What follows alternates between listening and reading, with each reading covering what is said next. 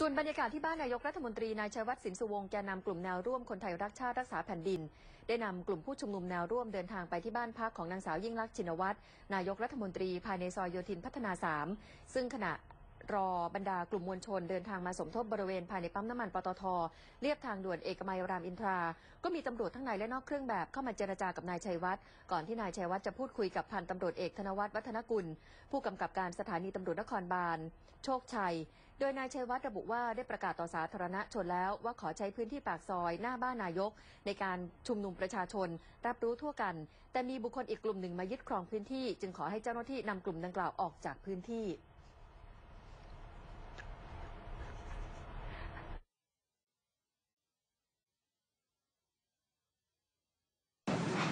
ผมเนี่ยประ กาศต่อสาธารณะ ขอใช้พื้นที่ป่าซอยนายกในการชุมนุมประชาชน รับรู้ทั่วการแม้แต่สื่อมวลชนทั่วประเทศลงหมด วันนี้คุณให้คนอีกกลุ่มหนึ่งมายึดครองพื้นที่ได้ไง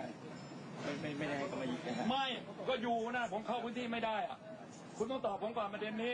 คุณธนวัฒน์วัฒนกุลคุณต่อมา ผมถูกรอนสิทธิในการแถลง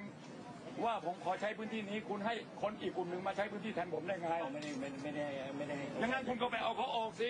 เขาเมาเมามาตั้งแต่เช้าวันนั้นนะฮะไม่ใช่เกี่ยวเวลาผมเวลาบ่ายสองต้องคืนพื้นที่ผมสิถูกไหมล่ะผมพูดถูกไหมเพราะว่าผมแจ้งต่อสาธารณะเขาแจ้งหรือเปล่าล่ะ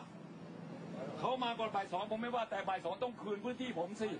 คือตอนนี้กำลังกำลังก็ไปจัดการสิก็ไปจัดการผมเป็นประชาชนเจ้าของน้ำใจครับผมแสดงเจตจำนงได้เอ่อไล่กลับเลย คุณใช้สิทธิอะไร ใช้อำนาจอะไรบอกมาเลยแค่เดี๋ยวผมตรวจสอบการจราจรของท้องท่านน่ะจำแค่เดี๋ยวผมและก็นายกสั่งด้วยนะห้ามเกะกะที่จราจรอ่าทำไมตำรวจกับเสื้อแดงติดจราจรเอ่อคุณใช้สิทธิอะไร ครับทำงั้นเดี๋ยวผมตรวจสอบอีกทีแล้วคุณไปจัดการ ครับเดี๋ยวผมเป็นไม่งั้นผมไปพบปปตรแน่ ครับผมครับ